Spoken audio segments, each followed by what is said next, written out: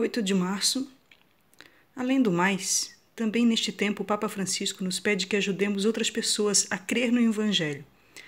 Vendo vocês o que fazem, como se comportam, o que dizem, como sentem, como amam, eu peço: creio, creiam no Evangelho.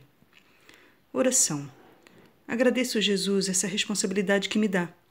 Não sei se serei capaz de vivê-la, mas vou fazer o esforço para que os outros também sejam felizes crendo e vivendo o Evangelho. Cada dia uma pequena oração do livro Cinco Minutos com meu amigo Francisco.